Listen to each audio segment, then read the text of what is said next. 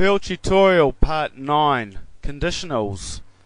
Now, a conditional statement evaluates whether something is true or not. So let's create a variable number equals 10. Now, if something in normal brackets is true or false, then we'll do something in curly brackets. Now, if that doesn't satisfy the condition, we have a backup condition. So else if something in normal brackets, then if that is true, then we'll do something in the curly brackets.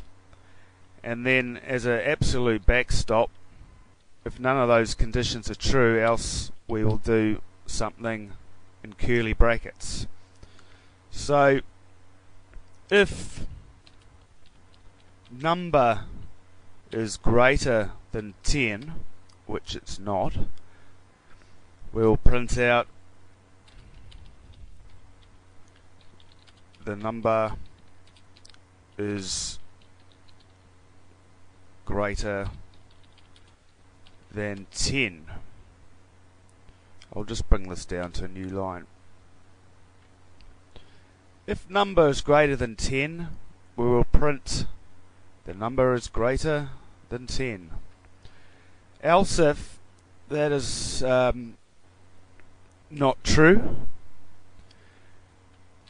we will say here, else if the number is less than 10, oops, which is also not, we will print out. The number is less than 10.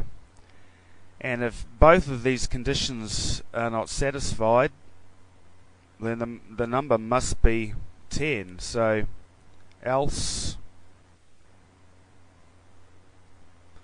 the number the number is 10. That's what we'll print out if it is 10. So let's run that and see what comes up.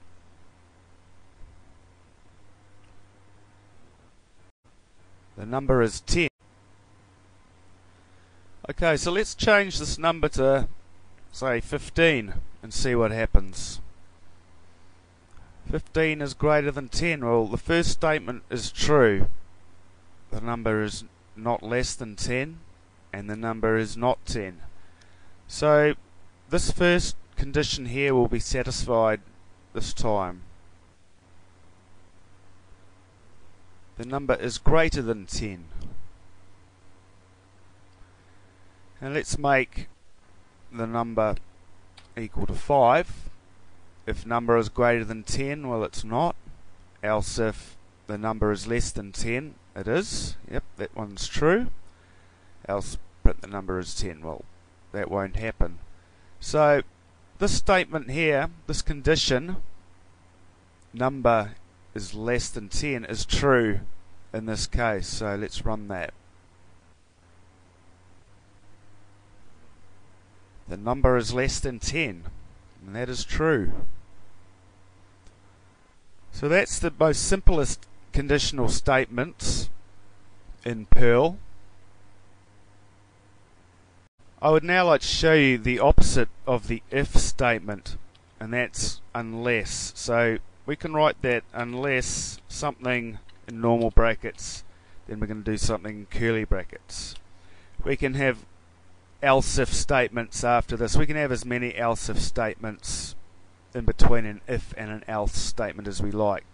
This time we'll just go straight to an else statement. So let's create a new variable number equals 20.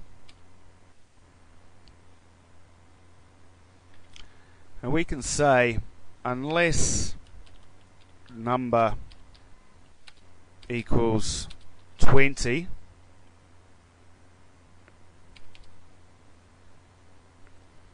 print. So unless the number is 20 so unless that is true which the number is 20, so this is not going to be true. Print the number is not 20, else we'll print the number is 20. So let's run that.